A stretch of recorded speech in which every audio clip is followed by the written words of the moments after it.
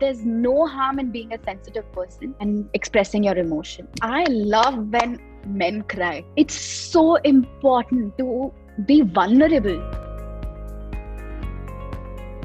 I'm sort of a person who expresses it. I don't keep it to myself. रोना आता तो रो दूंगी अभी यही रो दूंगी I'm like a CEO of crying in public places.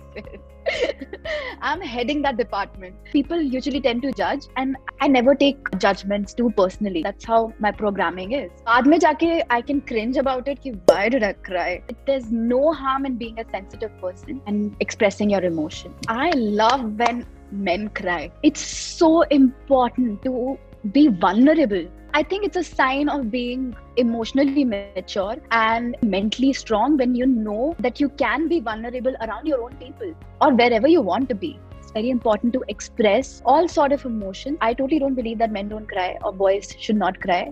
Everyone should cry and just let it go out of your system, express it. So I was reading this book called Letting Go by David Hawkins. I read that it's not really healthy to be expressing. It's very important to let go of these emotions. Don't uh, dump your anger on someone else is something that I would suggest, and I am someone I'm practicing right now. If somebody close to me is going through something, I like to be with them, console them.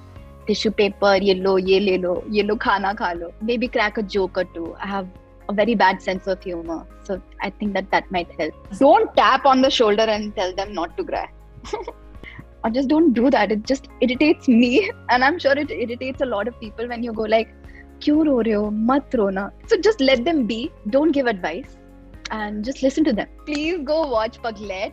It's streaming on Netflix. And if you like this video, please share, like, and subscribe to Tweak India.